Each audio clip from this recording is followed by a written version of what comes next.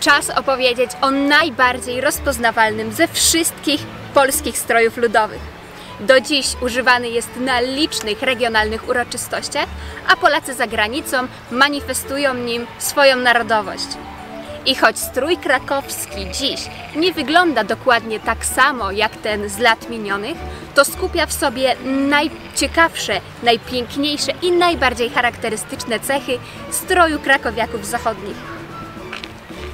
Ten uznawany za oficjalny, narodowy strój ludowy nie zawdzięcza tego zaszczytu wcale temu, że Kraków był dawną stolicą Polski. Możemy doszukiwać się wielu przyczyn, poczynając od walecznego kościuszki, który przywdziewa chłopską krakowską sukmanę po wygranej bitwie pod Racławicami. Choć ten zwyczaj podobno przywiózł z Ameryki, gdzie tam dowódca po wygranej bitwie ubierał mundur swojej najbardziej zasłużonej jednostki, w tym wypadku kosynierów. A może, albo aż dlatego, że jest to strój wyjątkowy na skalę strojów ludowych w całej Polsce, jest najbardziej ozdobny, elegancki, kunsztownie ozdobiony, po prostu niesamowity, a przy okazji nosiła go naprawdę spora część ludności zamieszkujących okolice Krakowa. Okres Młodej Polski przynosi rozpropagowanie sławnego gorsetu bronowickiego. Kaletki odeszły w niepamięć, boki i tył wykańczano fałdkami. Zdobienia były liniowe naokoło poszczególnych części gorsetu. Wykorzystywano guziczki, kolorowe tasiemki, cekiny i koraliki, pozostawiając wolny środek pleców i boki, które z czasem wypełnił haft roślinny. Z przodu na linii haftek doszywano kolorowe chwosty. Bywało tak, że spod ozdób nie było widać już jaki kolor ma tło, ani z jakiego jest materiału. Wyobrażacie sobie, że dziś każda kobieta miałaby wyglądać tak samo i ubierać się w taki sam strój? W XIX wieku nie było inaczej. Żadna kobieta nie chciała wyglądać tak samo jak jej koleżanka. Dlatego gorsety często miały podobne tło, bo czarne albo granatowe, jednak ich ozdoby, choć delikatne, czy to guziczkowe, czy haftowane, były bardzo indywidualne i mocno się od siebie różniły. W razie potrzeby na gorsety nakładano katanki z długim rękawem, często zdobione na wzór gorsetu. Wtedy nakładano jedno na drugie, przy czym katanka zostawała rozpięta i odsłaniała ozdobny przód gorsetu, żeby podkreślić ten efekt wow. Spódnice najczęściej w duży wzór różany lub w drobne kwiatuszki długie prawie do kostek, obszyte na dole sznureczkiem zapobiegającym strzępieniu się tkaniny, wiązane w pasie na białe troczki, im szersze, tym lepsze. Żeby oszukać system i zaoszczędzić, kobiety czasem w przedniej części doszywały kawał grubego, taniego materiału, który i tak zasłaniała zapaska. Fartuchy nieco krótsze od spódnic w drobniejszy deseń kwiatowy – z Tybetu, tiulu lub płótna. Te tiulowe i płócienne ozdabiane były białym, drobniutkim haftem. Przejdźmy do bielizny. Pod spódnicą krakowianka nosiła halkę, szytą podobnie do spódnicy wierzchniej, często bogato obszytą białym haftem. Koszula szyta z białego płótna, zapinana na guziczki z małym kołnierzykiem, zdobiona była białym haftem na kołnierzu, mankietach i na przodzie. Nie martwcie się, nie tylko dla nas wiązanie chusty krakowskiej to czarna magia. Nawet 100 lat temu nie każda potrafiła sobie ładnie tą chustę wywiązać. Dlatego w każdej wsi musiała być osoba za to odpowiedzialna, która mogła to za nas uczynić za jakąś drobną opłatą. Taka wykrochmalona, dobrze wywiązana chusta była ściągana jak czapka i wkładana do y, kufra czy do, y, czy do szafy i tak czekała do następnego nałożenia to mężatki zakładały na głowy chusty.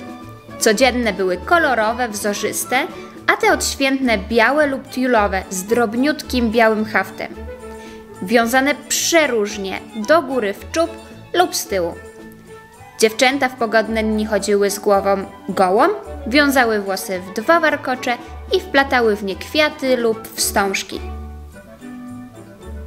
Buciki nosiły najpierw z wysoką cholewą, później takie wysokie, wiązane trzewiki. Ale rzeczą, do której wzdychała każda krakowianka, był sznur prawdziwych korali. Na takie stać było tylko zamożniejsze mieszkanki, bo ich ceny były niebotyczne. Jeden sznurek prawdziwych korali mógł kosztować nawet kilkaset złotych, przy czym za spódnicę płacono po kilka. Tańsze zamienniki i sztuczne korale robione były z gipsu czy laku. Korale wiązane były na pęki wstążek czerwonych lub kwiecistych, sięgających nawet do pasa. Krakowiacy jurni, pewni siebie i dumni jak pawie, których pióra noszą przy czapkach. Waleczni kosynierzy, którzy zasłużyli się w walkach narodowościowych. To ich sukmany, czapki i dźwięczne pasy są symbolem Polski i naszych strojów narodowych.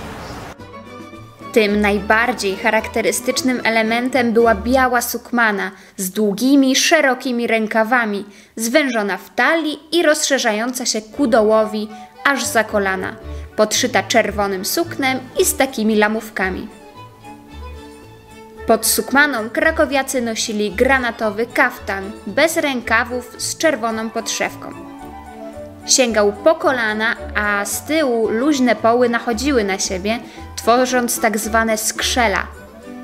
Kaftan był bogato zdobiony rzędami chwostów i płaskimi lub wypukłymi, mosiężnymi, perłowymi lub cynowymi guzikami.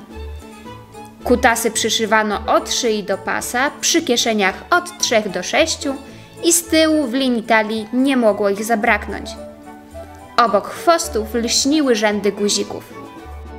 Spodnie lżejsze były płócienne w prążki biało-czerwone, biało-niebieskie lub biało-fioletowe, a te cieplejsze sukienne w kolorze granatowym lub niebieskim.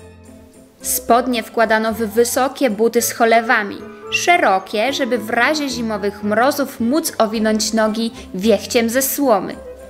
Buty były podkute podkówką lub nabijane gwoździami, żeby sypać w tańcu iskry. Symbolem zadziorności i młodości były pawie pióra, które młodzi mężczyźni nosili przy kapeluszach, czyli przy celendrach. Celendry, które żartobliwie nazywano żeleźniakami, bo do złudzenia przypominały żelazne garnki, zostały wyparte przez niższe kapelusze filcowe. Czapki krakuski, tak popularne dziś, już w połowie XIX wieku nosili właściwie tylko drużbowie. Czapki były czworoboczne, czerwone, obszyte czarnym barankiem, przystrojone pióropuszem pawich piór i pękiem kolorowych wstążek. W ramach bielizny krakowiacy używali białych, prostych koszul z gładkim lub haftowanym kołnierzykiem, zapinanych pod szyją, na spinkę lub zawiązywanych na czerwoną wstążeczkę. A zamiast skarpet do pewnego czasu popularne były onuce. Narodowy strój krakowski, odszyty od linijki i jednakowy, to jeden z typów, a nie dokładne odwzorowanie krakowskiego stroju regionalnego. Bardzo ważne jest to, żeby potrafić rozróżnić strój narodowy od stroju regionalnego i nie zapominać o różnorodności i barwności regionalnego stroju krakowskiego, ponieważ każda szafa i każdy kufer skrywały niepowtarzalne i jedyne w swoim rodzaju skarby. Natomiast strój narodowy jest zbiorem najpiękniejszych i najbardziej charakterystycznych cech stroju krakowiaków zachodnich.